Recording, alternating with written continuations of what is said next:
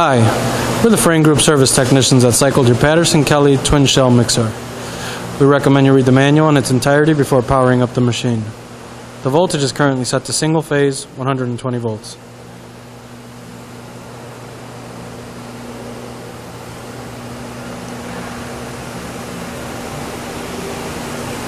First, we will demonstrate the liquid solids bar.